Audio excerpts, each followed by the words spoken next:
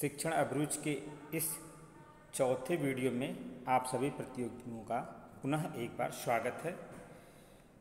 आज के इस वीडियो में हम लोग शिक्षण अभिरुचि के बचे हुए कुछ महत्वपूर्ण बिंदुओं की चर्चा करेंगे। इसके बाद, इस प्रवेश परीक्षा के लिए शिक्षण अभिरुचि का एक वीडियो और अपलोड किया जाएगा।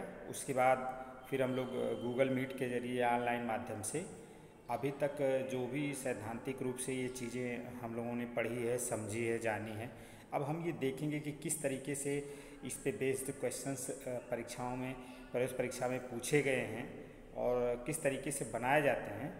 फिर जब डिटेल में हम लोग उस पर डिस्कशन करेंगे तो ये काफ़ी कुछ ये जो पीडीएफ है या नोट्स है वीडियो इसका मतलब आपको समझ में आएगा और फिर इसके माध्यम से आप बहुत ही प्रभावकारी तरीके से शिक्षण अभिरुचि के लगभग सारे क्वेश्चंस को हल करने की स्थिति में आ जाएँगे। शिक्षण विधियाँ।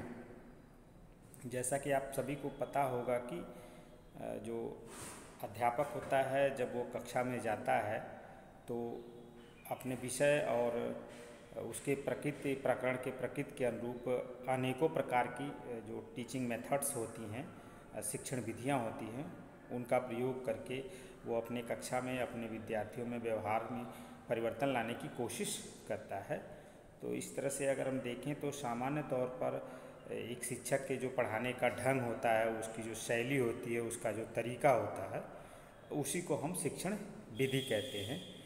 और शिक्षण विधि का किस तरीके से चयन किया जाए, कैसे इसका निर्धारण किया जाए, इन सब का आधार जो होता है, वो कंटेंट होता है, वह पाठ्यवस्तु होती है, जिसे एक शिक्षक को पढ़ाना होता है। और पाठ्यवस्तु की जो प्रकृति है उसका जो स्वरूप है, उसके आधार पर ही हमें विभिन्न प्रकार की शिक्षण विधियों का प्रयोग करना चाहिए कि वो पाठ्यवस्तु सामाजिक अध्ययन की है, गणित की है, विज्ञान की है, भाषा की है, पर्यावरणीय अध्ययन की है और उसका टॉपिक क्या है, उन सब के आधार पर ही हम यह तय करते हैं कि नहीं, कौन सी शिक्षण विधि का हम प्रयोग करेंगे। कुछ प्रमुख जो शिक्षण विधियाँ हैं प्रायः जिनका कक्षा शिक्षण में प्रयोग किया जाता है, वो इस प्रकार हैं। यद्यपि बहुत सारी शिक्षण विधियाँ हैं, लेकिन इस छोटे से वीडियो में उन सबका चर्चा करना संभव नहीं है। फिर भी मैंने कोशिश की है कि जो महत्वपूर्ण शिक्षण विधियाँ हैं, उस पर जो आधारित क्वेश्चंस आए, आप लोग उसको कर लें। जो सबसे पुरानी और सबसे परंपरागत एक शिक्षण विधि है, जिसका बहुतायत में आज भी हमारी कक्षाओं में प्रयोग हो रहा है, वो है व्याख्यान विधि लेक्चर मेथड जैसा कि आप सभी जानते हैं, व्याख्यान विधि पूरी तरह से यह अध्यापक केंद्रित होती है। इसमें अध्यापक अपने हाव भाव शब्दों के माध्यम से बोलकर मौखिक रूप से प्रस्तुतिकरण देता है। और ये व्याख्यान विधि जो होती है, बड़े कक्षाओं के लिए, उच्च कक्षा के विद्यार्थियों के लिए, ज़्यादा उपयोगी होती है। छोटी कक्षाओं के बच्चों में इसका प्रयोग करने पे बहुत अच्छा परिणाम नहीं आता है। और इसकी एक और जो सबसे बड़ी बात होती है कि एक लार्ज समूह को, बड़े समूह को आप एक साथ अपने लेक्चर के माध्यम से चीज़ों को बता सकते हैं, समझा सकते हैं। और उसके साथ ही साथ व्याख्यान विधि में कई सारी अच्छाइयाँ होती हैं, कई सारी कमियाँ होती हैं, लेकिन कुछ ऐसे बिंदु और पहलू हैं अगर जिनको हम ध्यान में रखें तो इस व्याख्यान विधि का एक बेहतर और प्रभावी प्रयोग किया जा सकता है। जैसे कि जब आप लेक्चर दें या व्याख्यान क्लास में दे रहे हों तो उस दौरान अनेक प्रकार के टीएलएम यानी सहायक शिक्षण सामग्री है, उसका प्रयोग करें, उसके माध्यम से लेक्चर देने की कोशिश करें। श्यामपट का पूरा का पूरा प्रयोग करें, इस्तेमाल करें। श्यामपट पर चीज़ों को लिख के एक्सप्लेन करके एग्ज़ाम्पल उदाहरण ग्राफ्स के माध्यम से समझाएँ लेक्चर दें। और विद्यार्थियों को सहभागी बनाने के लिए, उनको अपने इस लेक्चर में शामिल करने के लिए उनसे लगातार वार्ता करते रहें संवाद करते रहें, प्रश्न पूछते रहें। तो इस तरह की अगर हम कोशिश करें तो निश्चित रूप से एक अध्यापक जो है अपनी व्याख्यान विधि को भी काफ़ी प्रभावशाली बना सकता है। इसके बाद दूसरी जो विधि आती है, वो है प्रदर्शन विधि या डिमॉन्स्ट्रेशन मेथड। जिसमें ग्राफ, चार्ट्स या वस्तुओं को कक्षा में ला के अध्यापक उनको डिमॉन्स्ट्रेट करके एज इट इज़ उनको दिखा के कोई तथ्य या प्रकरण समझाने की कोशिश करता है। यह छोटी कक्षाओं के लिए, छोटे बच्चों के लिए काफ़ी प्रभावशाली होती है।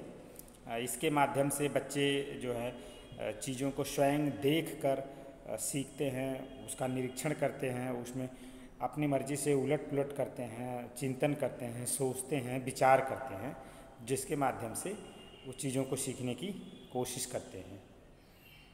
अगली विधि जो है वो अन्वेषण विधि, इसको ह्यूरिस्टिक मेथड भी कहते हैं। अन्वेषण विधि या ह्यूरिस्टिक मेथड इसके जो जनक हैं वो आर्मस्ट्रांग हैं और इस विधि में जो छात्र होता है, वह स्वयं खोज कर सीखता है। उनको अध्यापक एक मार्गदर्शन देता है, रास्ता देता है, उनके सामने समस्याएँ रख देता है और उनका समाधान उनको अपने तरीके से स्वयं गतिविधि करके खोज के सीखना होता है। अध्यापक एक तरह से केवल मार्गदर्शक होता है पथ प्रदर्शक होता है और वह एक कोई प्रयोग या कोई प्रोजेक्ट दे के विद्यार्थियों को उनके मन मस्तिष्क में नए नए प्रकार के ज्ञान भरने की कोशिश करता है। उसके बाद आता है प्रोजेक्ट विधि।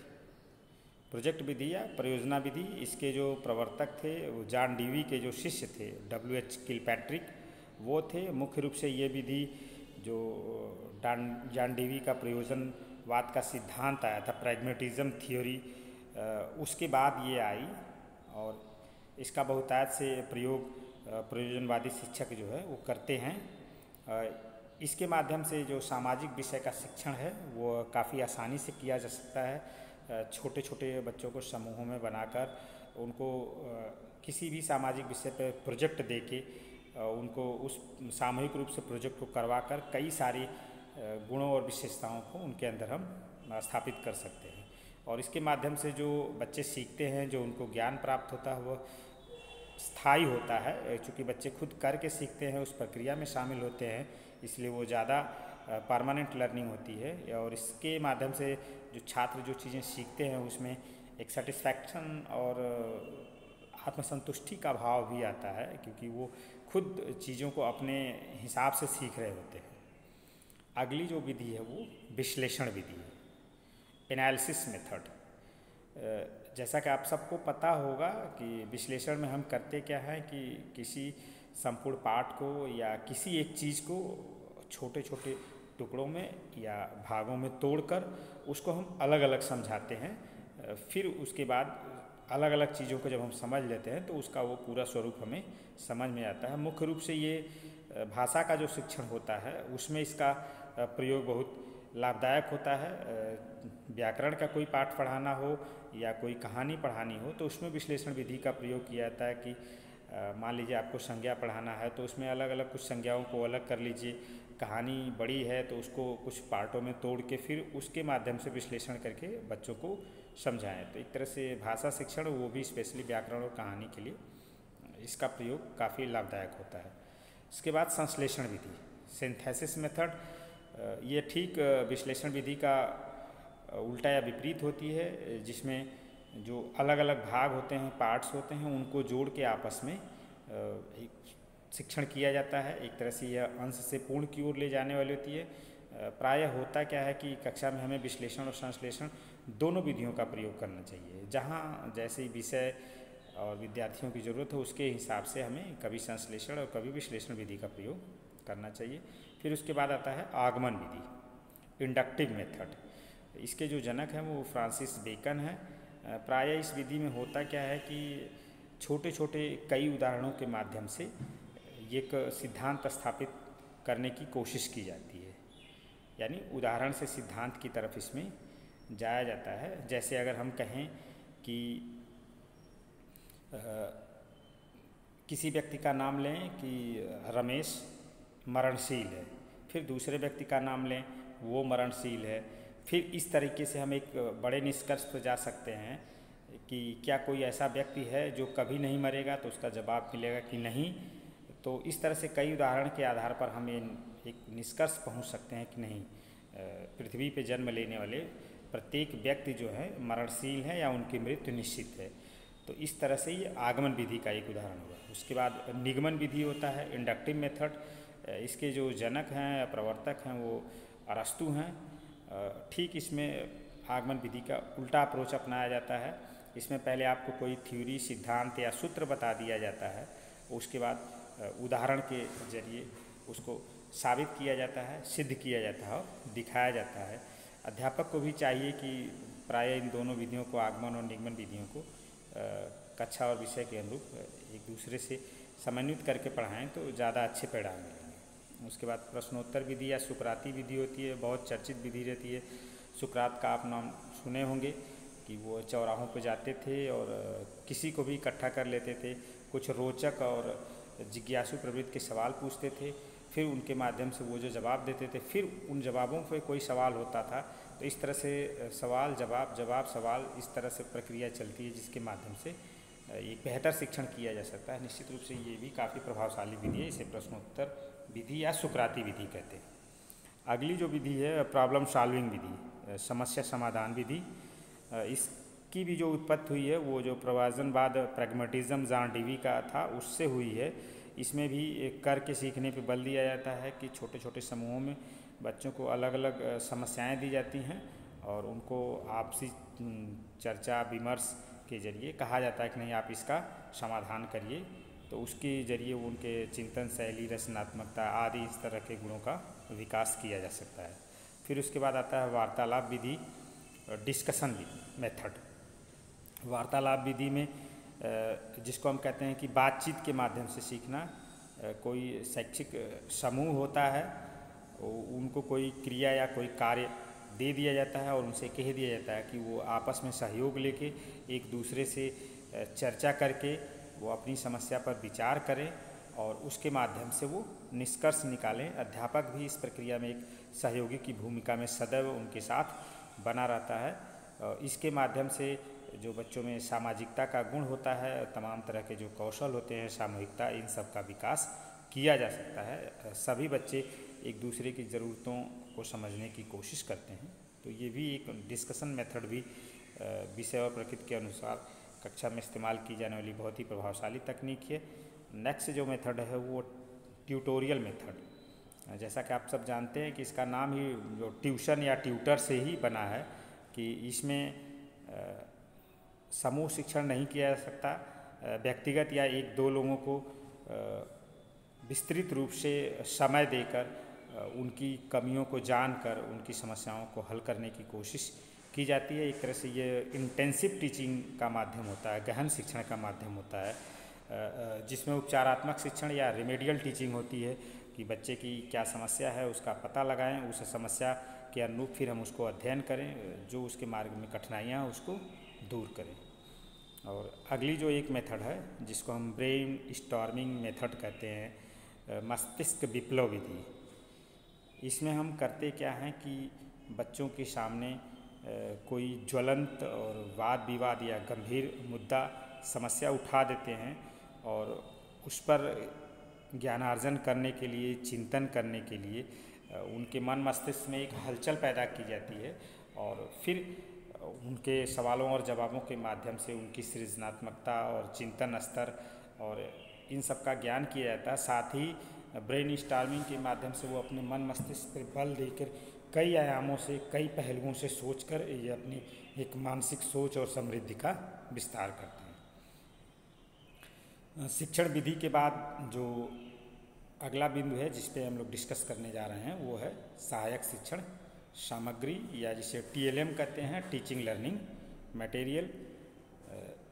टीएलएम जो होता है, ये ऐसी विधि, कोई तरीका या प्रणाली हो सकती है जिसके माध्यम से हम किसी भी विषय या किसी विषय के किसी टॉपिक को बहुत ही रोचक तरीके से और सहज एवं समझने योग्य बना सकते हैं। और इसके लिए ज़रूरी होता है कि जो शिक्षक है, उसे छात्रों की कौन सी शारीरिक और मानसिक ज़रूरतें हैं उन सबको ख्याल में रखते हुए हमें एक विशेष प्रकार के सहायक शिक्षण सामग्री का प्रयोग करना चाहिए। और वो सहायक शिक्षण सामग्री ऐसी हो कि जिसमें अधिक से अधिक बच्चों की ज्ञानेंद्रियों का इस्तेमाल हो सके। जैसे जब आप केवल बोलते हैं, बच्चा केवल सुनता है तो मात्र एक ज्ञानेंद्रिय उसकी कान काम कर रही होती है। जब आप उसको दिखाने लगते हैं तो वो आँख भी काम करने लगती है, उसको टच कराने लगते हैं तो उसकी त्वचा भी काम करने लगती है। इस तरह से जैसा कि कहा भी गया है कि sense organs are the gateway of knowledge जो ज्ञानेंद्रियाँ हैं, वो ज्ञान की द्वार होती हैं। जितनी ज़्यादा सेंस आर्गन आपकी लर्निंग में इन्वॉल्व होंगी, कक्षा में आप जितने ज़्यादा से ज़्यादा बच्चों को ज्ञानेंद्रियों का प्रयोग करने के लिए प्रेरित करेंगे, उतनी उनकी जो लर्निंग या सीखने की जो प्रक्रिया होगी, उतनी अस्थाई और परमानेंट और सारगर्भित होगी। तो इन सब चीज़ों को ध्यान में रखते हुए जो है आजकल जो एजुकेशनल टेक्नोलॉजी या शैक्षिक तकनीकी है या जो नए नए आविष्कार हो रहे हैं उन सारे वैज्ञानिक और तकनीकी के आविष्कारों का कक्षा शिक्षण में भी प्रयोग किया जा रहा है एक सहायक सामग्री के रूप में, ताकि जो है शिक्षण अधिगम की प्रक्रिया इस तकनीकी आविष्कारों से वंचित न रहे और इस टीएलएम के प्रयोग से जो सैद्धांतिक, मौखिक और नीरस प्रवृत्ति के जो पाठ होते हैं, उनको भी स्वाभाविक, जीवंत, रोचक और उपयोगी बनाया जा सके ताकि जो बच्चों की लर्निंग हो, सीखने की प्रक्रिया हो, वो ज़्यादा से ज़्यादा प्रभावशाली हो। तो टीएलएम जो होता है, वो कितने प्रकार का होता है? थोड़ी सी इस पर भी चर्चा हम लोग कर लें कि जो टीचिंग लर्निंग मटेरियल सहायक सामग्री होती है, उसे हम अलग अलग दृष्टिकोण के आधार पर अलग अलग भागों में बांटते हैं।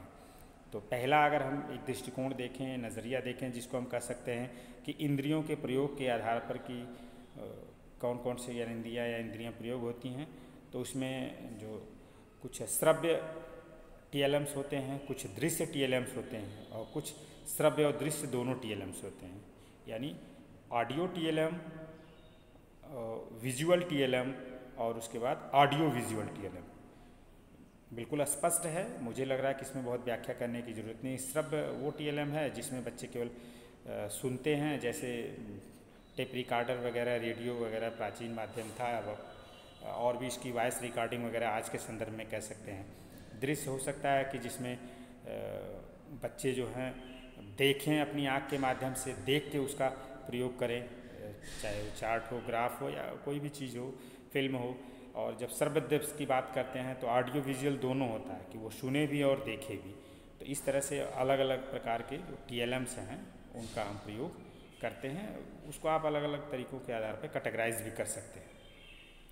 और जहाँ तक तकनीकी की बात है, अगर उसके आधार पर हम देखें तो आप सभी जानते हैं कि सॉफ्टवेयर और हार्डवेयर प्रकार के जो टी एल एम्स हैं, उनकी हम बात कर सकते हैं कि सॉफ्टवेयर में जो टी एल एम्स आते हैं, उसमें जैसे चाक, डस्टर किताब या ऐसे टी एल एम जिनको आप छू सकते हैं, प्रयोग कर सकते हैं, महसूस करते हैं। हार्डवेयर में प्रोग्रामिंग वगैरह आती हैं फ़िल्म स्ट्रिप्स होती हैं, उसका प्रयोग किया जाता है। और उसके आधार बाद अगर हम देखें कि प्रोजेक्शन के आधार पर या प्रक्षेपण के आधार पर देखें कि नहीं, उसका प्रयोग किस तरह का होता है तो वो प्रक्षेपित और अप्रक्षेपित, प्रोजेक्टिव और नॉन प्रोजेक्टिव टी होते हैं। प्रोजेक्टिव टी वो होते हैं जिनको किसी डिवाइस के माध्यम से आप किसी पर्दे पर या दीवार पर उसको किसी उपकरण के माध्यम से प्रोजेक्ट करते हैं और उसको फिर बच्चे देखते हैं। तो उसमें आपके पावर पॉइंट पीपीटी या स्लाइड्स वगैरह के जो प्रेजेंटेशन होते हैं वो आते हैं और नॉन प्रोजेक्टिव में वो होता है कि जिसमें आप डायरेक्ट चीज़ों को दिखाते हैं, उसमें प्रोजेक्शन का कोई कॉन्सेप्ट नहीं होता। तो इस तरह से हम देखते हैं कि ये अलग अलग के जो टी होते हैं इन सब का अलग अलग बदलते हुए उसके अनुसार अगर एक अध्यापक प्रयोग करता है तो निश्चित रूप से वो शिक्षण के अपनी इफेक्टिवनेस को बढ़ा सकता है। इसके बाद अगला जो एक बहुत महत्वपूर्ण प्रकरण है जिसपे कई बार शिक्षण अभिरुचि का क्वेश्चन बन जाता है, एडगर डेल का अनुभव त्रिकोण, जिसको हम कहते हैं Edgar Dale's cone of experience. जो सीखने की प्रक्रिया होती है उसमें जो सीखने के साधन होते हैं या जो टी होते हैं, वह किस तरीके से प्रभावी होते हैं या किसका कितना प्रभाव पड़ता है, इसी के आधार पर एडगर ने एक कोण बनाया था, शंकु बनाया था और उस शंकु में जो है, नीचे से लेके ऊपर तक वर्गीकरण किया था कि नहीं, कौन सा जो स्तर है वो सीखने का सबसे प्रभावी है और सबसे कम है तो उन्होंने ऊपर से वर्गीकरण किया था। अर्थात जैसे हम शंख को जब डिवाइड करेंगे तो ऊपर वाला जो भाग होगा, उसमें थोड़ा सा कम एरिया आएगा। जैसे जैसे नीचे बढ़ते जाएँगे तो उसका एरिया बढ़ता जाएगा। अर्थात एक तरह से कह सकते हैं कि जो सीखने की गति होती है, वो कौन कौन से ऐसे माध्यम हैं, जिनके माध्यम से सीखने की प्रक्रिया ज़्यादा प्रभावी होती है। तो उसको उन्होंने एक कोण पर शंख पर प्रदर्शित किया, जिसको हम एडगर डेल का अनुभव त्रिकोण कहते हैं। उसमें जो बताया, उन्होंने पहला कि जो सबसे कम जिसके माध्यम से सीखना होता है, वह है बर्बल सिंबल्स। इससे सबसे निम्न स्तर का सीखना कहा जाता है, बहुत कम इससे बच्चा अर्जित करता है। वर्बल सिंबल्स, यानी शाब्दिक संकेतों के माध्यम से आप बच्चों को कोई चीज़ जब बताते हैं, सुनाते हैं, बोलते हैं तो वो सीखता है और ये सबसे कम प्रभावी होता है। उसके बाद जो दूसरा आता है वो विजुअल सिंबल्स अगर देखने वाली कोई चीज़ है जिसको देख के सीखा जा सकता है तो उससे सुनने वाले से ज़्यादा सीखने की प्रवृत्ति होती है। इसे कहते हैं ना कि अगर आप कोई चीज़ सुनते हैं तो भूल जाते हैं, देखते हैं तो थोड़ा और ज़्यादा याद रहता है। और उसके बाद तीसरा जो होता है radio recording still pictures radio की जो रिकॉर्डिंग है जिसको, अब हालाँकि ये रेडियो रिकॉर्डिंग थोड़ा सा प्राचीन हो रहा है आज के समय में, या स्टिल पिक्चर्स कह सकते हैं कि जो पहले के चलचित्र बनते थे, जिसमें आवाज़ नहीं थी और मोशन नहीं होता तो जिसे स्थिर पिक्चर कहते हैं। उसका नंबर आता है, और फिर उसके बाद आता था मोशन पिक्चर्स एंड टीवी, कि ऐसे फ़िल्म या चित्र जो पूरी तरह से जिसमें बोलने और चलने वाले दृश्य होते हैं या टेलीविज़न होते हैं, उसके माध्यम से ज़्यादा सीखता है बच्चा। फिर उसके बाद आता है प्रदर्शनी एग्जीबिशन प्रदर्शनी के माध्यम से पिछले ऊपर के जितने भी हैं, उनसे ज़्यादा अधिगम होता है प्रदर्शनी में, ज़्यादा स्थायी सीखना होता है। फिर उसके बाद आता है फ़ील्ड टिप्स और एक्सकर्जन। प्राय यह साइंस की क्लास में, कक्षाओं में या सोशल साइंस में भी इसका इस्तेमाल किया जाता है कि आप बच्चों को मैदान में ले जाएँ या कहीं बाहर किसी चीज़ को ले जाएँ और दिखाएँ और उसको एज इट इज़ दिखा के चीज़ों को बताएँ, समझाएँ तो उसके माध्यम से वो ज़्यादा अच्छे तरीके से समझ में आता है। फिर उसके बाद आता है डिमॉन्स्ट्रेशन कोई भी चीज़ एकदम उसका हु बहू सही प्रतिरूप मॉडल ला के बच्चों के सामने अगर हम डिमॉन्स्ट्रेट करें, प्रदर्शन करें तो वह सीखना और ज़्यादा प्रभावशाली होता है। फिर उसके बाद आता है ड्रामेटिक पार्टिसिपेशन कि अगर कोई भी चीज़ बच्चों को आप सिखाना है तो उनके सामने अगर ड्रामा के माध्यम से, नाटक के माध्यम से, और जिसमें वो खुद भी इन्वॉल्व हों, आप भी वो ड्रामा, नाटक का अभिनय करें और उनको भी इन्वॉल्व करें तो उससे वो और ज़्यादा तरीके से सीखते हैं। उसके बाद फिर कंट्रीब्ड एक्सपीरियंसेस होता है कि वो जो चीज़ें किसी गतिविधि या क्रियाकलाप में शामिल हो रहे हैं, सीख रहे हैं, फिर उनसे पूछा जाए कि नहीं उन्होंने उनका क्या उस पर चिंतन है या उन्होंने क्या विचार किया है, उसकी क्या थिंकिंग है, वो अपने अनुभवों को बताएँ। तो इस तरह से इसको हम कहते हैं कंट्रीब्ड एक्सपीरियंस वो ज़्यादा बेहतर तरीके से सीखते हैं, फिर उसके बाद आता है डायरेक्ट पर्पजफुल एक्सपीरियंस कि प्रत्यक्ष रूप से कोई उद्देश्य से युक्त जो एक्सपीरियंस हमारे जीवन का होता है, वो सबसे ज़्यादा अधिगम में प्रभावित होता है। तो इस तरह से आप इनको बार बार देख लें कि क्रम क्या है। कई बार इस में से पूछ देता है कि इसमें कौन किसके माध्यम से ज़्यादा अधिगम होता है। तो ऊपर से जैसे जैसे आप नीचे आएँगे सीखने की दर जो है वो बढ़ती जाती है। उसके बाद जो अगला बिंदु आता है कि वो टीचिंग लर्निंग मटेरियल जो होता है टीएलएम में कौन कौन से वो प्रॉपर्टीज़ और कैरेक्टरिस्टिक्स या उसकी गुण या फीचर्स होने चाहिए कि जो टी का प्रयोग हो, वो ज़्यादा प्रभावशाली हो। तो उसमें कुछ बातें इस तरह से हैं कि नंबर एक होता है परिशुद्धता एक्यूरेसी जो भी आप टीएलएम प्रयोग करें, वो ज़्यादा से ज़्यादा परिशुद्ध हो एक्यूरेट हो, जो भी चीज़ें दिखाए और बताए, वह शुद्धता उसमें ज़्यादा हो, त्रुटि या कमियों की गुंजाइश कम से कम हो, संबद्धता। जो भी टी आप ले रहे हैं, वो किसी भी लर्निंग एक्टिविटी से या लर्निंग गोल से संबंधित होनी चाहिए, उनके प्रकरण विषय से रिलेटेड होना चाहिए। तभी प्रभावशाली होगी, तभी वो सीख पाएँगे। फिर उसके बाद होती है यथार्थता, कि जो हमारा टीएलएम हो, जिसमें काल्पनिकता का समावेश कम से कम हो, असलियत और सच्चाई के वह ज़्यादा से ज़्यादा करीब हो वो यथार्थ चीज़ें दिखा रहा हो, बता रहा हो तो उसका ज़्यादा प्रभाव बच्चों के ऊपर पड़ता है। ये भी एक गुण और विशेषता होनी चाहिए जो टीएलएम हम बच्चों के साथ प्रयोग करें। उसके बाद रोचकता, ये तो बहुत ही अहम बिंदु है। अगर हमारा टीएलएम रोचक नहीं है तो बिल्कुल बच्चे देखेंगे नहीं, उनको आनंद नहीं आएगा और फिर टीएलएम के हमारे जो प्रयोग का उद्देश्य है, वो बेकार नज़र आएगा। अनुकूलता बच्चों के अनुकूल हो पहुँच, संसाधन के हिसाब से वो काफ़ी अनुकूल हो कि बारिश के समय में, ठंडी के समय में उसके अनुकूल अनुरूप कोई उदाहरण और चीज़ें अगर ले के दे के समझाते हैं टेलम बना के लाते हैं तो वो ज़्यादा प्रभावशाली होती है। परिस्थितियों और विषय वस्तु के अनुकूल होना चाहिए वो टी एल फिर कम समय लेने वाली। जो टी एल हो, वो कम से कम समय ले, क्योंकि कोई भी बहुत लंबे समय तक किसी चीज़ को देखना चाहिए बच्चे तो खास करके और भी कम समय तक अपने ध्यान को केंद्रित कर पाते हैं। तो उसमें हमें ध्यान रखना चाहिए कि वो कम समय लेने वाला हो, बहुत ज़्यादा टाइम टेकन ना हो, कम कीमत वाली हो। ऐसा ना कि बहुत ज़्यादा कीमत वाली हो तो फिर सही बात होती है कि आप कहाँ से इतने टी लाएँगे, बनाएँगे, क्या करेंगे। तो उसकी कीमत कास्ट इफ़ेक्टिव हो, उपलब्धता हो, आसानी से वो मिल सके। ये सारी चीज़ों का हमें ध्यान रखना चाहिए और ये उसके सिद्धांत हैं या गुण हम कह सकते हैं।